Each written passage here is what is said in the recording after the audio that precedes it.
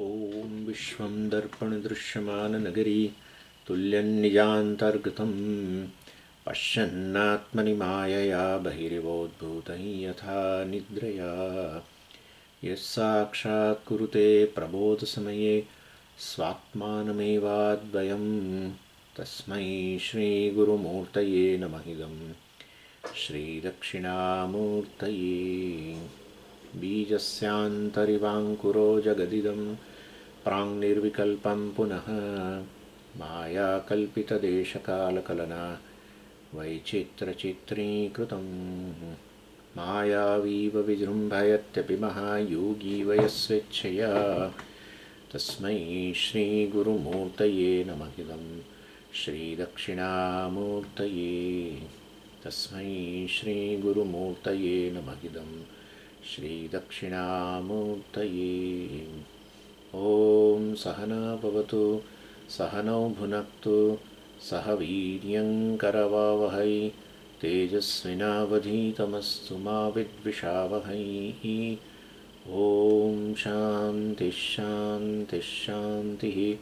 सदाशिवसमारम्भां शङ्कराचार्यमध्यमाम् अस्मदाचार्यपर्यन्तां वन्दे गुरुपरम्पराम् ॐ।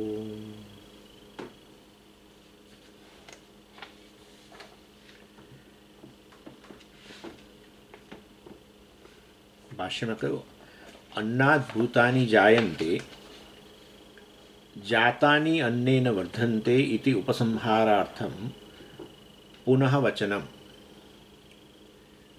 એટલે ઉપનિષદ અહીંયા ઉપસંહાર કરતા યા બીજો અનુવાક જે છે એની અંદર જ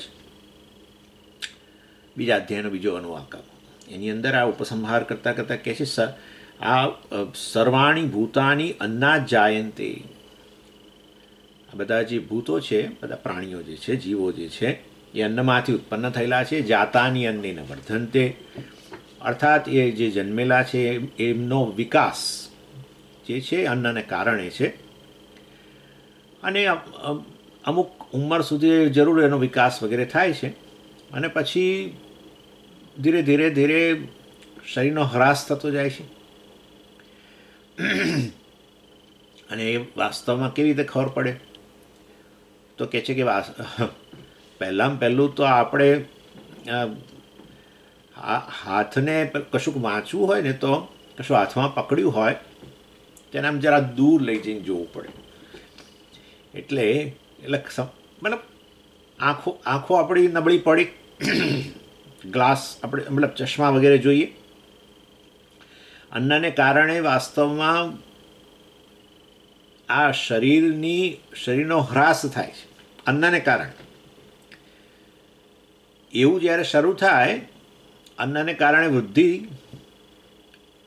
એ તો બરાબર છે. અન્નને કારણે શરીરનો ક્ષય થતો જાય.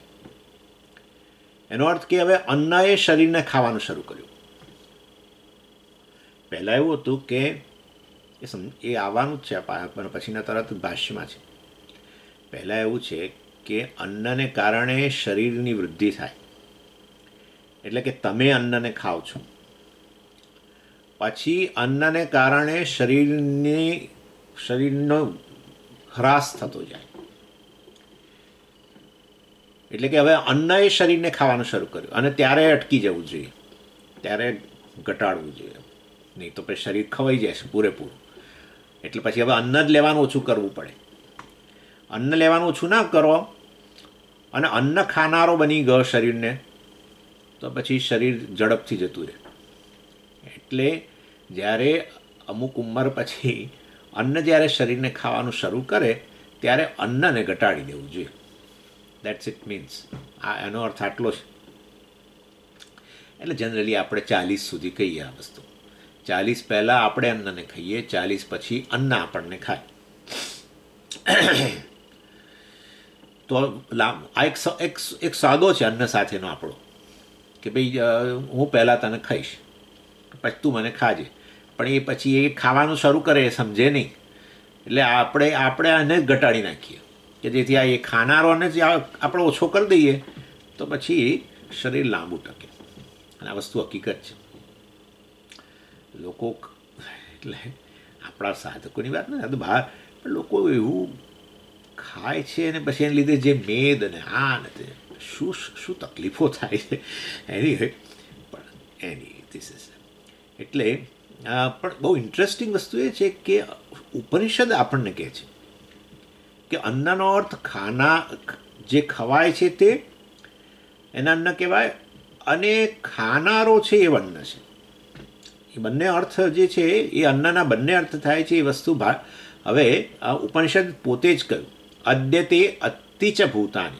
એ વસ્તુ ભાષ્યકાર સમજાવે છે. ઇદાનીમ અન્ન શબ્દ નિર્વચનમ ઉચ્યતે. અદ્યતે ભૂતૈ અત્તૈ અતિચ ભૂતાની. યસ્માત તસ્માત અન્નમ તત ઉચ્યતે ઇતિ શબ્દ પ્રથમકોશ પરિસમાપ્ત્યર્થ અન્ન શબ્દ નિર્વચનમ ઉચ્યતે નિર્વચનમ એટલે આ અન્ન શબ્દની વ્યુત્પત્તિ વ્યુત્પત્તિ એટલે શું? શબ્દના ઘટકોને આધારે અર્થ કરવો। એટલે અન્ન શબ્દ જે છે, બનેલો છે અધધાતુનાથી, એમ. તો એ અધધાતુનો અર્થ લઈને અન્ન શબ્દનો અર્થ કરવો. એને વિપત્તિ કહેવાય. એટલે અહીંયા અન્ન શબ્દનો અહીંયા અર્થ એટલે કે છે અદ્યતે ઇતિ ઇતિ અન્નમ. એટલે અદ્યતે ઇતિ અન્નમ. જે ખવાય છે એ એને કર્મ વિત્પત્તિ કહેવાય છે. કર્મ. એટલે અદ્યતે જે ખવાય ખાવાની ક્રિયાનો જે વિષય બને, એને અન્ન કહીએ. જે આપણે રોજ દાળ ભાત વગેરે ખાતા હોય એને આપણે અન્ન જ કહીએ છીએ. એ કર્મ વિત્પત્તિ કહેવાય. કર્મ વિત્પત્તિ એટલે અર્થ. શબ્દનો મૂળ જે છે, એ જે ધાતુમાંથી બનેલો છે, એ ધાતુનો અર્થ લઈને શબ્દનો અર્થ કરો. અધધાતુ ખાવું. ઓકે, તો પછી અન્ન શબ્દનો અર્થ એક એક અર્થ એવો થાય, જે ખવાય છે. અદ્યતે ઇતિ અન્ન જે ખવાય છે તે અન્ન છે, કર્મ વિત્પત્તિ અને અર્થાત આપણે આ જે અન્ન વગેરે લઈએ તે ફૂડ આપણે જે કહીએ તે. અને અહીંયા અન્નનો અર્થ આપણે પ્રવાહી વગેરે પણ ગણી જ લેવાનો. આ એક. પછી અતિ ઇતિ અન્નમ. એને એ કર્તરી વિત્પત્તિ કહેવાય. જે ખાય છે અન્ન. બોલો. જે ખવાય છે નહીં જે ખાય છે, એ એટલે ખાનારી ક્રિયાનો, ખાવાની ક્રિયાનો કરતા એમ. એટલે શરીરને એ ખાય છે માટે એ રીતે એને અર્થ કરવામાં આવે. ભૂતૈ ભુજ્યમાનત્વાત ભૂતૈ ભુજ્યમાનત્વાત એટલે, આ ભૂતો દ્વારા પ્રાણ જીવો દ્વારા જે ખવાય છે એ અન્ન છે. ભૂત ભોક્તૃત્વાચ અને બધાને ખાનારો જે છે એ પણ અન્ન છે. એટલે ભોગતા પણ છે અને ભોગ્ય પણ છે. એક એક દ્રષ્ટિબિંદુથી અન્ન ભોગતા કહેવાય. શરીરને ખાય છે માટે. બીજા દ્રષ્ટિબિંદુથી અન્ન અન્ન અન્નને ભોગ્ય કહેવાય. ખવાય છે માટે. તો પછી જુઓ, ગજબનું અહીંયા તો વસ્તુ કહી દીધી. એનો અર્થ એવો થયો કે અન્નને ભોગતા કેવો કે અન્નને ભોગ્ય કેવું?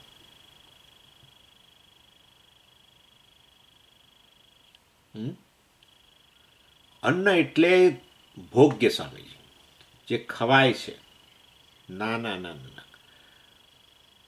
જે ખવાય છે એ અન્ન કહો અને તમે તમારી જાતને એ ભોગ્ય ગણો અને તમે તમારી જાતને ભોગતા ગણો.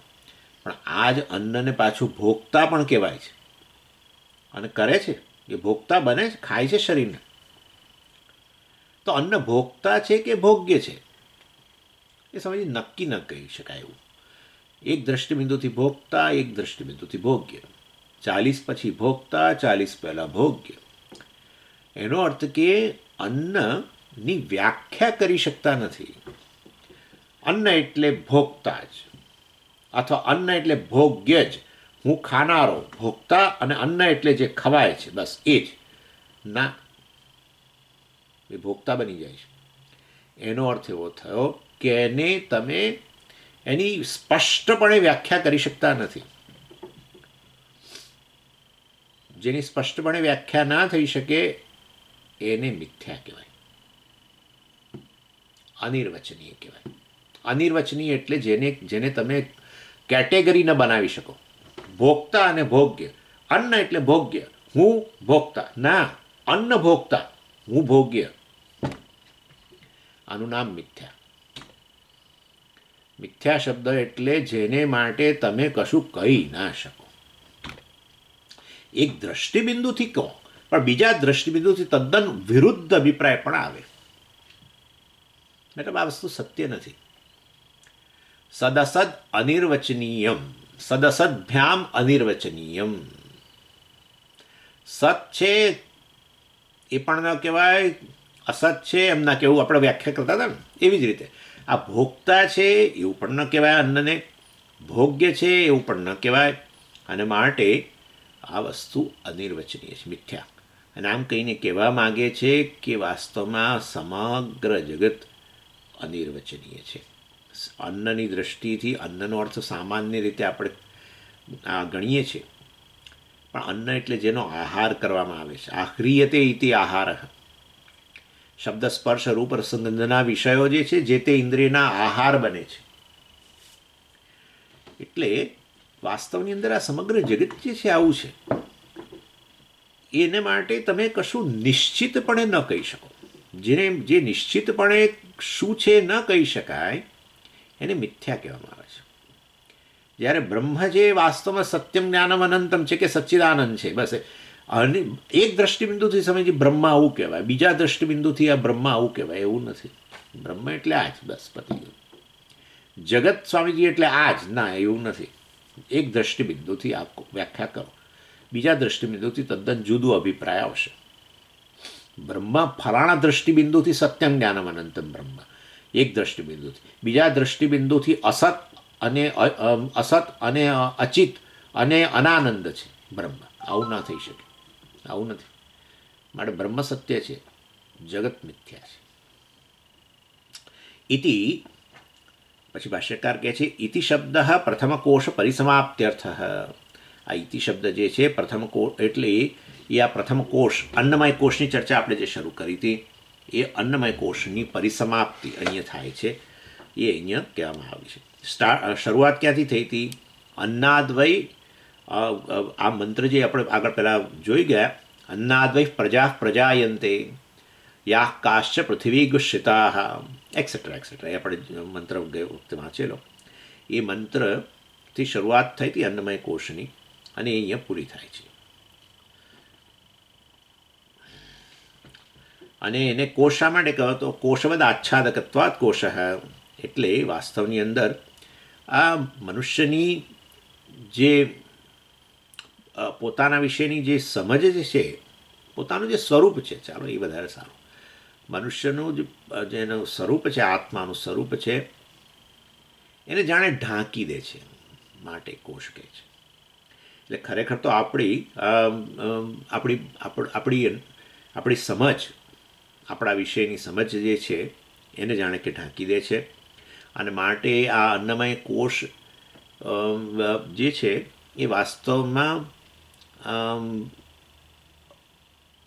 અધ્યાસ માટેનું, ભૂલ માટેનું કારણ બને છે. માટે એને કોષ કહેવામાં આવે છે. જે ઢાંકવાનું કામ કરે એને કોષ કહેવાય, મ્યાન કહેવાય. તલવારને જે ઢાંકે એને મ્યાન કહ્યો કોષ કહ્યો એવી રીતે આ અન્નમય કોષ જાણે કે શરીરને જાણે કે આત્માને ઢાંકી દે છે. એટલે કે એટલે શું? તો આ તમે તો કહો છો આત્મા કોઈ દાડો ઢંકાય જ નહીં. જે જે વસ્તુ સતત પ્રકાશી રહી હોય, સ્વયં પ્રકાશ વસ્તુને કોણ ઢાંકે? કોઈ ઢાંકી ન શકે. અને પાછી સર્વવ્યાપી હોય, એને એને વળી કયું ઢાંકવાનું લઈ આવીએ? ક્ષનાથી ઢાંકીએ? સર્વવ્યાપી વસ્તુ એટલે એનો અર્થ એવો થયો કે આપણી આત્મા વિશેની સમજ જે છે, એ એનામાં આ જાણે કે આ ભૂલ ઉત્પન્ન કરે છે, અન્નમય કોષ. એટલે હું આત્મા છું કે સચ્ચિદાનંદ છું એને કહેવાને બદલે હું શરીર છું એવું કહું છું.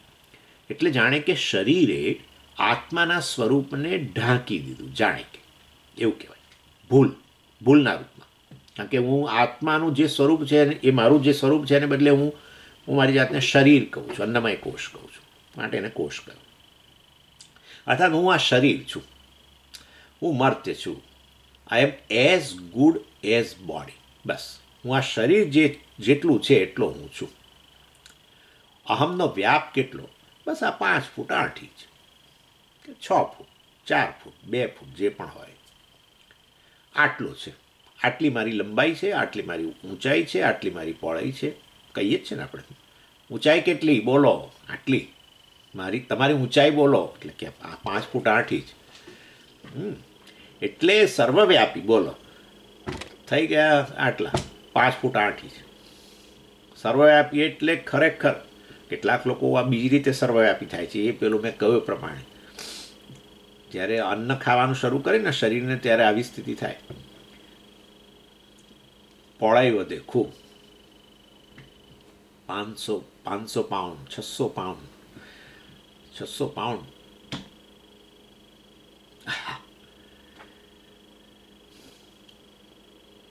ક્વોલિટી લાઈફની ક્વોલિટી ખલાસ થઈ જાય કશે બેઠા હોય તો ઊભા ના થઈ શકે. બધું કેટલું થાય છે? આહા હા હા વજન વધે પછી તો કંઈ સમસ્યાઓનો અંત જ નથી.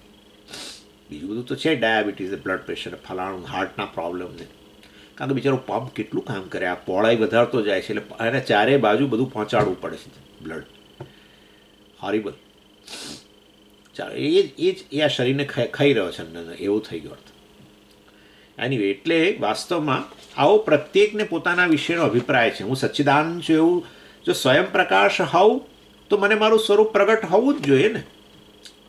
હું સચ્ચિદાન છું એવું જ કહેવું જોઈએ. સતત અહમ તો પ્રગટ થઈ જ રહ્યો છે. અને સચ્ચિદાનંદ રૂપે જ પ્રગટ થઈ રહ્યો છે. પણ એમાં આ જાણે કોષ બની ગયો. આ શરીર જે છે એણે જાણે એના સ્વરૂપને જાણે યાદ રાખો. જાણે એના સ્વરૂપને ઢાંકવાનું કર્યું એટલે કે પેલી એરર. જાણે સ્વરૂપને ઢાંકવું અર્થાત બરાબર એરર, ભૂલ, અધ્યાસ. માટે શરીરને અન્નમયને કોષ કહેવામાં આવે. ખરેખર ઢાંકતો નથી. ચાલો, હવે આગળ. હવે ખરો પેસેજ શરૂ થાય છે અન્નમયાદિભ્ય આનંદમયાંતેભ્ય આત્મભ્ય અભ્યંતરતમમ બ્રહ્મવિદ્યયા પ્રત્યેગાત્મત્વેન દિદર્શી દિદર્શયિષુ શાસ્ત્રમ અવિદ્યાકૃત પંચકોશ અપનયનેન અનેક તુષકોદ્રવ વિતુષીકરણેન એવ તદંતર્ગત તંડુલાન પ્રસ્તૌતિ તસ્માદ્વા એતસ્માત રન અન્નરસમયાત ઇત્યાદિ વાસ્તવિક પંચકોશ પ્રક્રિયા હવે શરૂ થઈ એટલે ઉપનિષદ જે છે એ એક આ પ્રક્રિયા અપનાવે છે બહુ જબરજસ્ત પ્રક્રિયા છે આ પ્રક્રિયાથી જ નિધિધ્યાસન વગેરે કરવું જોઈએ ઘણી પ્રક્રિયાઓ છે આમાંની એક છે પરંતુ અહીંયા બહુ સુંદર આ બ્રહ્માનંદ વલ્લીની અંદર આ વસ્તુનો વિસ્તાર કરવામાં આવે પંચકોશ આત્મા પંચકોશથી વિલક્ષણ છે એવી જે આત્માની વ્યાખ્યા છે, એ વસ્તુ અહીંયા એકદમ સ્પષ્ટ કરી દેવામાં આવી. એટલે ઉપનિષદ જે છે, અહીંયા એક આ પ્રક્રિયા અપનાવે છે, જેના દ્વારા આપણે આત્મા વિશેની આ જે પેલી ભૂલ અધ્યાસ વગેરે જે છે, એને આપણે કરેક્ટ કરી શકીએ. પ્રત્યેક સ્તરે. પ્રત્યેક વસ્તુ જે છે, શરીર છે, મન છે, પ્રાણ છે, ઇન્દ્રિયો છે અને બુદ્ધિ વગેરે છે. એ બધી વસ્તુઓ એ પ્રત્યેક જાણે કે કોષ બની જાય છે. જાણે કે, ફરી પાછું કહું છું. કારણ કે કોઈ કોષ બની ન શકે, કોઈ કવર, કોષ એટલે કવર. કવર બની ન શકે આત્માને ઢાંકવા માટે. ઇનફેક્ટ આત્માના પ્રકાશમાં જ બધું પ્રકાશે છે ને આત્માના અસ્તિત્વથી સર્વનું અસ્તિત્વ છે. પ્રકાશવું એક વસ્તુ છે, પરંતુ અસ્તિત્વ જ આત્માના અસ્તિત્વથી સર્વનું અસ્તિત્વ છે. સર્વ વસ્તુ આ બધું આત્માથી અભિન્ન છે. ચાલો એ ચર્ચા થવાની છે. પરંતુ ઇન શોર્ટ આ પ્રત્યેક સ્તરે પંચકોષ અતીત આત્મા એટલે પ્રત્યેક કોષ અન્નમય વગેરે પ્રાણમય વગેરે બધું. એ પ્રત્યેક સ્તરે આપણે ભૂલ સુધારવી. છેવટે આત્માના સ્વરૂપને જાણવું. બસ એ એનો અર્થ છે. સામાન્ય રીતે ભૂલ છે ને એ આપણા આપણા આપણા દર્શન વગેરેની અંદર પરસેપ્શનની અંદર પ્રત્યક્ષમાં પણ આપણે ભૂલ કરતા હોઈએ છીએ, પરંતુ એ ભૂલ કેવી હોય છે? વ્યક્તિગત ભૂલ હોય છે. એટલે અને એ જરૂરી નથી હોતું કે બધા જ એ ભૂલ કરે. એટલે હું વ્યક્તિગત કહું છું. જેમ કે દાખલા તરીકે આપણે વાત કરીએ છીએ ને, રજ્જુને ઠેકાણે સર્પ જોયો કે આપણે પાણીની પાઇપ. હા, પાણીની કાળી પાઇપ હોય, પડી હોય, ટુકડો પડ્યો હોય ગાર્ડનની અંદર અને સવારે ચાલવા ગયા હોય ને આછો અંધકાર ને આછું અજવાળું હોય, તો આવું થાય. આ પેલો આમ ટુકડો પાછો આમ આમ આવા આકારનો જ હોય એસ આકારનો, પડ્યો હોય. તો એને જગ્યાએ આપણે, આપણને એ છે પાણીનો હોશ, પેલી પાઇપ. પણ એને બદલે આપણે શું જોઈએ? એને સાપના રૂપમાં જોઈએ. એટલે વાસ્તવની અંદર આ વ્યક્તિગત ભૂલ છે. બધા જ બધા જ ચાલી રહ્યા છે. સવારના મોર્નિંગ વોક બધા લઈ રહ્યા છે. પણ આવું નથી થતું. બધા ઘણા લોકો સમજી જાય છે કે આ તો પાણીનો પાઇપનો ટુકડો પડ્યો છે. ઘણાને માટે એ વસ્તુ સાપ એટલે વાસ્તવની અંદર આ આપણે એક ભૂલ કહેવાય કે જેમાં તમે આ પ્રકારનો આવો અધ્યારોપ અધ્યાસ કરો. છે પાણીનો પાઇપને તમે એના પર અધ્યાસ કરો આ રીતે સાફ વગેરે. એટલે આનું, એનું કારણ એવું હોય છે, એવું આ લોકો કહેતા હોય છે કે પણ સ્વામીજી, એ જ વ્યક્તિ કેમ આવવું જોઈએ છે? ઘણીવાર શું હોય છે કે આપણે અમુક વસ્તુઓથી બહુ ડરતા હોઈએ. અમુક વસ્તુઓને કારણે બહુ તાણ અનુભવતા હોઈએ. ત્યારે એ આવો અધ્યારોપ થઈ જતો હોય છે. જે લોકો સાપથી બહુ ડરતા હોય ને એ લોકો જાણે એટલા બધા એટલા બધા પેલા ચોકરના એટલે પણ શું કહીએ ને જે બહુ જ, એટલા બધા સાવધાન રહેતા હોય. એટલે જ્યાં ખરેખર સાપ ના હોય, ત્યાં સાપના દર્શન કરવા મળે. ઘણા તમે જોજો જે લોકો ભૂતથી બહુ ડરતા હોય આવું બધું હતું કે બહુ પેલા આંબલી પર ભૂત રહે ને લીમડા ભૂત રહે ને એવું બધું પહેલાં એ બધા, એ બધામાં એટલે ભૂતથી બહુ ડરતા હોય ને, તેને જાણે જે બધે એને ભૂત દર્શન ઘરની અંદર એકલો હોય ને, ત્રણ માળનું મકાન હોય ને, અને એની ઘરમાં એકલો હોય અને ભૂતથી બહુ ડરતો હોય ને, તો ઉપરના માળે કદાચ કંઈક ઉંદર ઉંદર ફરતો હોય અને એમાં એક વાસણ કંઈક પણ પડ્યું હોય ને એ વાસણ પર પાડે નીચે. અને તમને કે ભૂત સ્વામી કોને આવું થતું હતું? આ એમ પોતે. એટલે બરાબર કે નાના હતા ત્યારે આવું. ભરૂચની અંદર એમને આવું થતું હતું. એટલે કે પેલા આપણા મધરના મધર બહાર તો જાય ને પેલા કોઈકના સાથે બેઠા હોય ત્યાં બહાર ને એટલે ને આપણે ઘરમાં એકલા હોય એટલે હિંચકો ખાવાની બહુ આમ આદત હોય, એટલે હિંચકો છોડવો ના હોય. અને પાછું હવે ભૂતનો બહુ ડર હોય. એટલે હિંચકો ખાતા જઈએ ને આમ બહુ જ ચોકન રહીએ કે કોઈકથી ભૂત ના આવી જાય. એટલે ઉપર પેલો ઉંદર ફરતો હોય ને એ પેલું વાસણ પાડે તો એમ એ વાસણ પાડે ને ઉંદર દોડે ને આપણે બહાર દોડીએ, એના જેવી સ્થિતિ. એટલે ઇન શોર્ટ કહેવાનો આશય એવો છે એટલે આવો એક પ્રશ્ન કરેલો કોઈ કે સ્વામીજી પણ એ વ્યક્તિ જ કેમ રજ્જુના ઠેકાણે સાપ જોઈએ કે ફલાણાના ઠેકાણે સાપ જોઈએ કારણ પોતાની એન્ઝાયટી પોતાની ફિયર બહુ જવાબદાર હોય છે. જે વસ્તુથી અત્યંત ભયભીત હો, એનો અધ્યારો બહુ ઝડપથી થઈ જતો હોય છે. આવું આવું સાયકોલોજિસ્ટો કહેતા હોય છે. પણ એની એટલે વાસ્તવની અંદર અને અતસ્મિન તદબુદ્ધિ કહેવાય. કે જેની અંદર વાસ્તવમાં તમે એક વસ્તુને જગ્યાએ બીજી વસ્તુના દર્શન કરો. અને આ છે સબ્જેક્ટિવ વ્યક્તિગત વસ્તુ છે. આ તો તમે જાણો છો. આ ભૂલ બધા નથી કરતા. પરંતુ કેટલીક ભૂલ એવી છે જે વાસ્તવમાં યુનિવર્સલ છે. બધા જ કરે છે. અને એ વાસ્તવમાં, એ પરસેપ્શનમાં. અને એ ચાલુ જ રહે, ચાલુ જ રહે, ચાલુ જ રહે. જ્યાં સુધી એને ન સુધારો, ત્યાં સુધી ચાલુ રહે. એટલે એને અવિચાર સિદ્ધ કહેવામાં આવે છે. અવિચાર સિદ્ધ એટલે શું? જેના પર વિચાર નથી કર્યો, જેનું સ્વરૂપને નું વિશ્લેષણ આપણે ન કર્યું હોય ત્યાં સુધી એ વસ્તુ એ જેવી છે એને બદલે અન્ય જ આપણે જોતા રહીએ. સમજી ગયા? એટલે આવું છે. અને એ શેમાંથી ઉત્પન્ન થાય? અજ્ઞાનમાંથી. વસ્તુ ન વસ્તુનું અજ્ઞાન હોય એમાંથી જ જન્મે. અને એ છે કયા બધી સાર્વત્રિક, બધા જ ભૂલ કરે એવી વસ્તુ કઈ છે? એકને બદલે બીજું જુએ એવી રીતે વસ્તુ કઈ છે? બરાબર? જગત અને બીજું છે આત્મા. એટલે આત્મા વિશેનું અજ્ઞાન કે જગત વિશેનું અજ્ઞાન એક જ વસ્તુ છે. આત્મ વિષયક અજ્ઞાન કે જગત વિષયક અજ્ઞાન? જગતના સ્વરૂપનું કે આત્માના સ્વરૂપનું અજ્ઞાન? એ ન ખબર હોય ત્યાં સુધી બધા જ મનુષ્યો જે છે એ આત, પોતાને આત્મા તરીકે જોવાને બદલે જીવ તરીકે જુએ કે જગત જે છે વાસ્તવમાં એ પણ આત્મા છે. સર્વમ ખલુદમ બ્રહ્મ એને બદલે જગત રૂપે જુએ. ના, અનેક પ્રકારના નામ રૂપે જુએ. જગત મિથ્યા છે એ રીતે ગણવું હતું એ રીતે. જગત મિથ્યા હોવા છતાંય વાસ્તવમાં એને સત્ય તરીકે જુએ. અને આવું આ પ્રકારનું અજ્ઞાન બધા લઈને જ જન્મેલા છે. અને જન્મેલા તો છીએ, પરંતુ ભગવાને વ્યવસ્થા એવી કરી કે અજ્ઞાનની નિવૃત્તિ માટે મનુષ્યને વિશેષ સગવડો આપી કે એ કરી શકે એના માટે. અને જ્ઞાન પ્રાપ્ત કરીને આત્મા વિશેનું અજ્ઞાન દૂર કરી શકે. એટલે પરંતુ આપણે શું કર્યું છે? જે આપણને જ્ઞાન પ્રાપ્ત કરવાના જે સાધનો આપ્યા છે, એનાથી આપણે આત્મા વિશેનું જ્ઞાન તો પ્રાપ્ત કરવા માટે કોઈ પ્રયત્ન નથી કરતા, પણ જગત વિશેનું જ્ઞાન આપણે પ્રાપ્ત કરતા રહીએ છીએ. પરંતુ જે જાણનારો જે છે એ જાણનારાનો, જાણનારો ક્યારે પોતાનું સ્વરૂપ શું છે એ તરફ એ એનું ધ્યાન જતું નથી. ખરેખર જાણનારો જે છે એ વાસ્તવમાં એના વિશેને કેટલુંક સત્ય રહેલું છે એ એને પોતાને જ ખબર નથી. અર્થાત જાણનારો વાસ્તવની અંદર બ્રહ્મ છે.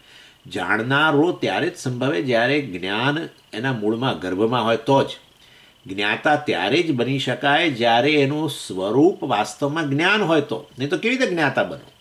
જ્ઞાતા સ્વરૂપથી જ્ઞાતા સત્યની દ્રષ્ટિથી શું હોવો જોઈએ? જ્ઞાન જ હોવું જોઈએ ને. એટલે જ્ઞાન જ્ઞાન હોવ તમે સ્વરૂપથી, તો પછી પરિસ્થિતિની અંદર જે તે પરિસ્થિતિમાં જ્યારે જાણવાનો વિષય હોય, ત્યારે તમે જ્ઞાતા બનો, નોવર બનો.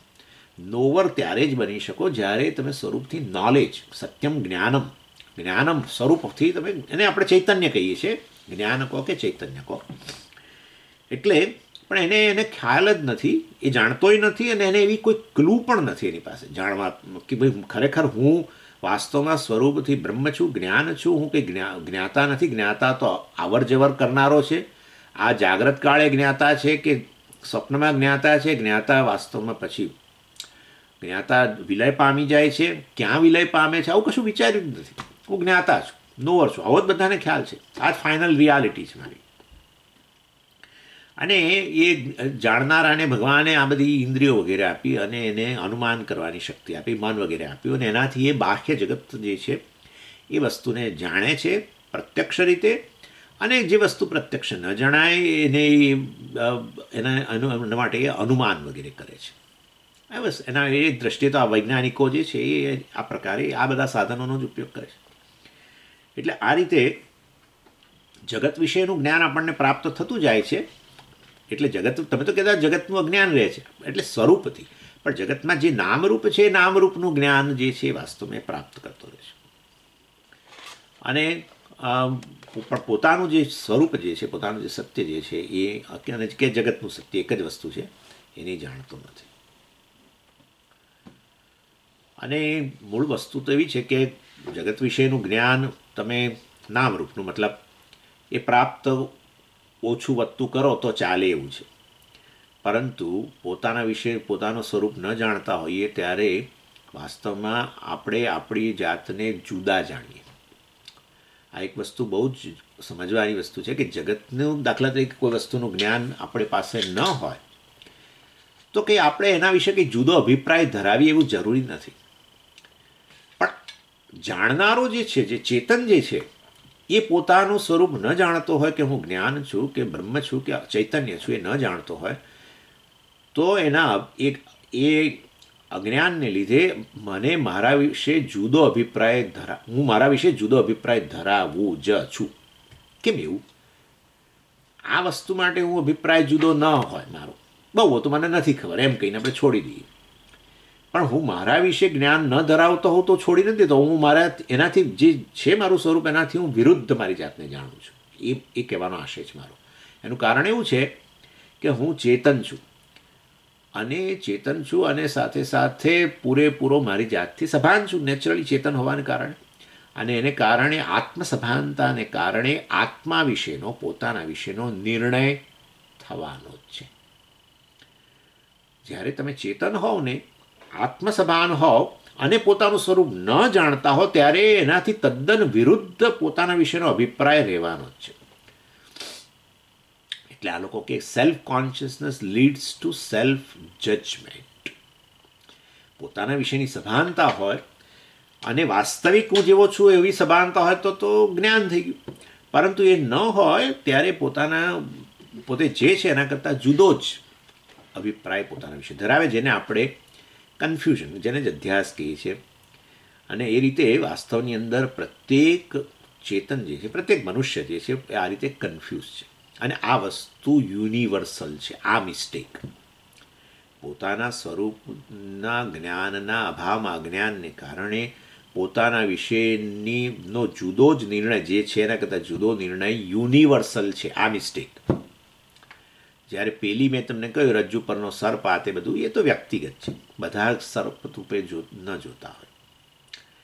એનીવે અને આ વસ્તુ, આ પ્રકારની ભૂલ બધા જ કરતા હોવાને કારણે વાસ્તવમાં આપણે બધા એક જ નાવમાં જઈ રહ્યા હોવાને કારણે બધા નોર્મલ લાગે છે. કારણ કે હું ભૂલ કરું રજ્જુ ઠેકાણે હું સાપ જોઉં અને બીજો ન જોતો હોત એ હશે છે. પરંતુ જ્યારે બધા જ દાખલા તરીકે માનો, કલ્પના કરો કલ્પના કરો કે એ એ પાર્કમાં ફરવા આવનારા બધા જ લોકો સાપ રૂપે જુએ છે, તો કોઈ કોઈની સામે નહીં હશે. હા, કોઈ કોઈની સામે નહીં હશે. કેમ? કારણ કે બધાને એમ છે કે આ નોર્મલ છે. વાત સાચી જ છે, આ સાપ જ છે. એટલે વસ્તુ ખરેખર આવી છે કે પ્રત્યેક જગતમાં જન્મ લેનારો જે છે, એ પોતાના સ્વરૂપથી અજ્ઞાન એને હોય છે જ. અને માટે કોઈ ભૂલ કરી રહ્યું છે, પોતાને જીવ કહીને, મનુષ્ય કહીને, એ વાસ્તવમાં એવું લાગતું નથી. એને કહેવાય, આપણે બધા વી પાસ એઝ નોર્મલ એવું છે. ખરેખર તો ગરબડ થઈ જ ચૂકેલી છે, પણ આવું છે. અને પ્રત્યેક વ્યક્તિ આ શરીર વગેરે જે છે, એને હું શેની વાત કરી રહ્યો છું? આ પંચકોષની જ વાત ચાલી રહી છે. ભૂલ જે થયેલી છે, એની જ વાત ચાલી રહી છે. અને બધાની, આ યુનિવર્સલ ભૂલ છે. એટલે પ્રત્યેક વ્યક્તિ આ શરીર જે છે, એ એને આત્મા જ કહે છે. એટલે એનો અર્થ એવો હતો કે આ શરીર જે છે, જાણે કે આ ભૂલ માટેનું એક સ્થાન બની ગયું. કઈ શેની ભૂલ? આત્મા વિશેનો નિર્ણય, ખોટો નિર્ણય, એને ભૂલ કહેવાય. આત્મા વિશેના ખોટો નિર્ણય કરવા માટે શરીર જાણે નિમિત્ત બન્યું. શરીરની દ્રષ્ટિએથી આપણે એને ભૂલ કરીએ ભૂલ કહી મતલબ એની શરીરની દ્રષ્ટિથી ભૂલ પહેલાં. એટલે અન્નમય કોષ એટલે એને. એટલે અને પછી એ બધું બધું આપણે, હું ઊંચો છું ને, આ મરતે છું ફલાણો છું ને, આવો છું તેવો છું વગેરે. કાળો, ધોળો ને, આમ મનુષ્ય, જાડો, પાતળો, હું, સ્ત્રી, પુરુષ, બધું. ગૃહસ્થ, આ તે બધું. આ બધા આ બધી એક એક વસ્તુ પછી આ બધી વસ્તુઓ ભૂલ જ કહેવાય. કારણ કે ખરેખર મારું સ્વરૂપ જાણતો નથી, મારા વિશેનો નિર્ણય થવાનો જ છે, ચેતન હોવાને કારણે, આત્મસભાન હોવાને કારણે. અને આ આ પશુઓમાં એ વસ્તુ છે, પશુઓ પણ ચેતન છે. પરંતુ એમનામાં આત્મસભાનતા ઘણી ઓછી છે. એટલે પોતાના વિશેનો બહુ સામાન્ય નિર્ણય હોય છે કે હું ગાય છું એવું તો એને ખબર છે. એટલે એવું બોલે નહીં. પણ એને ખબર છે કે હું આ અમુક પ્રકારનું પ્રાણી છું. એટલે સામે ગાય આવશે તો એ જુદા પ્રકારનું એનો. અને બળદ હોય વગેરે, આ તે બધું. એટલે ભગવાને બધી વ્યવસ્થા કરી છે કે જેથી કરીને પ્રજોત્પત્તિ પણ થાય તે. એનીવે ઇન શોર્ટ કહેવાનો આશય છે કે સામાન્ય સભાનતા હોય છે. પણ પૂર્ણ સભાનતા નથી હોતી. કારણ કે કોઈક કંઈ પ્રશ્ન કરેલો, આત્મસભાનતા બધાનામાં છે. કારણ કે બધા ચેતન છે. તો ચેતન હોય અને આત્મસભાન હોય તો પછી બધા એ લોકો ગાયને એવું થવું છે કે હું ગાય છું કે આ વસ્તુની ચર્ચા અધ્યાસ ભાષ્યમાં ભાષ્યકારે કરી. કે એક સામાન્ય સભા, સમા આપણે સભાનતા હોય છે. પૂર્ણ સભાનતા પોતાના વિશેની તો મનુષ્યમાં હોય છે, કારણ કે એની આ બુદ્ધિ, અર્થાત એનું સૂક્ષ્મ શરીર, એનું અંતઃકરણ એ વિશેષ પ્રકારનું છે. અને માટે પૂર્ણ આત્મા અહીંયા જાણે કે પૂર્ણ રીતે પ્રગટ થયો હોવાને કારણે અને સાથે સાથે આત્માનું અજ્ઞાન પણ રહેલું હોવાને કારણે પોતાના વિશેનો અને જગત વિશેનો ની સભાનતા પૂર્ણ છે અને એ વાસ્તવમાં એ, એના વિશે નિર્ણય પણ કરે છે. એટલે આ બધા જ જુદા જુદા પ્રકારના અભિપ્રાયો, ભૂલ મતલબ કે હું ઊંચો, પાતળો, કાળો કાળો, ગોરો, મનુષ્ય, આ તે બધું, એ બધી જ, એ ભૂલ છે. અને એ વધારે, એ ભૂલને જાણે વધારે આપણે ભૂલ છે એવી ખબર જ નથી. આપણે માટે તે સત્ય જ છે. બીજું કોઈએ ટકોરવાનું નથી, કારણ કે એની પણ એ સ્થિતિ છે. અને માટે વાસ્તવ, અને એ વસ્તુને એ ભૂલને જાણે કે છાવરવા માટે જ આપણે વાસ્તવમાં, આહા બર્થડે કાર્ડ વગેરે પણ આપણે મોકલતા રહીએ છીએ. બરાબર? અને બીજાઓની તમારી બર્થડે કઈ રાખો, સ્વામીજી? એટલે પછી બર્થડે તમે જાણી રાખો તો તમે બર્થડે કાર્ડ મોકલી શકો, આ કરી શકો. બર્થડે કોની? અરે મારી બર્થડેની વાત કરું, સ્વામીજી. તમારી કે શરીરની? હવે શરીરની એ જ મારી થઈ ગયું? પતી ગયું. એટલે વાસ્તવની અંદર આ ભૂલનું માટેનું આ કેન્દ્ર બની ગયું. શરીર. આત્માના સ્વરૂપને જાણે કે ઢાંકવાનું ને એને ઠેકાણે અન્ય અભિપ્રાય ધરાવવા માટેનું એક કારણ બની ગયું અન્નમય કોષ વગેરે. અને એ શરીરની દ્રષ્ટિબિંદુથી તમે કહો તો બરાબર છે કે શરીરની દૃષ્ટિબિંદુથી તમે કહો કે મારો જન્મ છે તો બરાબર છે. પણ તમારી દ્રષ્ટિબિંદુથી તમારો જન્મ નથી, યાદ રાખજો. એટલે પછી આ સમયથી તો પછી બર્થડે મારી એવું તો બોલાય જ નહીં ને. ના ના, એવું નહીં કરવાનું, બોલવાનું. મારી આ બર્થડે છે, બોલવાનું. પણ તમારા મનમાં ક્લિયર હોય કે તો શરીરની દ્રષ્ટિથી કહેવામાં આવે છે. From the standpoint of the body એટલે વ્યવહારની અંદર શરીરની દ્રષ્ટિબિંદુથી, મનની દૃષ્ટિબિંદુથી પ્રાણની દૃષ્ટિબિંદુથી બધું બોલો. મને ભૂખ લાગી છે. કે જમવાનું થયું તો આપો. એ, તું તો આત્મા છું. અને તારે વળી ભૂખ શું ને તરસ શું? ન, અશનાયા, પીપાસે. હે ને? છાંદોગીમાં કહ્યું આ આત્મા વિશેની વાત કરતાં કરતાં કહ્યું, અશના અને પીપાસા બંનેથી. અશના એટલે ભૂખ, પીપાસા એટલે તરસ. એનાથી મુક્ત છે આત્મા. એટલે પેલો કે હું ભૂખ્યો છું. તો કે તમે કેટલા વર્ષથી ક્લાસ કરો છો? તો કે ત્રીસ વર્ષથી ક્લાસ કરો છો. તો હજુ આટલી તમને ખબર ના પડી કે તમે ભૂખ, તરસ તમારા ધર્મ નથી તો પ્રાણના ધર્મ છે. તમે તો હું ભૂખ્યો છું, હું તરસ્યો છું, આવું બોલો છો. નહીં તો શું બોલવાનું શું ત્યારે? આપણે એને એવું પૂછવાનું. નહીં તો શું બોલવાનું? તમારે એમ કહેવાનું કે શરીર ભૂખ્યું થયું છે, અથવા શરીર તરસ્યું થયું છે. ક્યાં વાત હે? આવું કોઈ બોલે તો એનાથી દૂર જ રહેજો. એ તો ગાંડા થઈ જશું. એ તો થઈ, એ તો લગભગ હવે બોર્ડર પર પહોંચી ગયેલો છે. પણ આપણે, આપણી સ્થિતિ એવી જ થશે. વ્યવહાર જે થાય છે એ રીતે થાય. પણ તમારા જ્ઞાનીના મનમાં આ સ્પષ્ટતા હોય છે કે શરીરના દ્રષ્ટિબિંદુથી હું આ બોલું છું. ફોર વ્યવહાર ફોર ટ્રાન્ઝેક્શન કારણ કે વ્યવહારમાં તો જે પ્રકારે વ્યવહાર થતો એ જ થાય ને. દુનિયા આ રીતે વ્યવહાર કરે છે. કે હું ભૂખ્યો, હું તરસ્યો, કે હું ગયો, હું આવ્યો, એવું જ બોલે છે ને.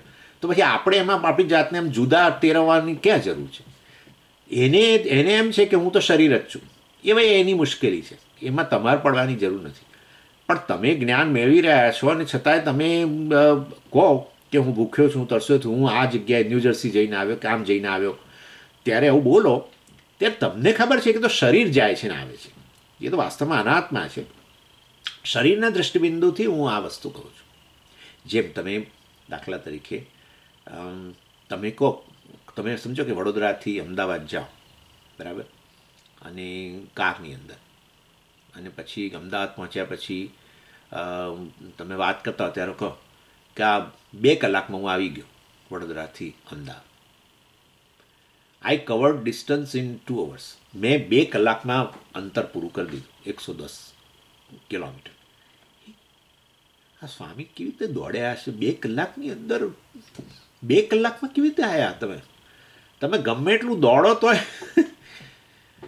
એટલે હવે કયા દ્રષ્ટિબિંદુથી?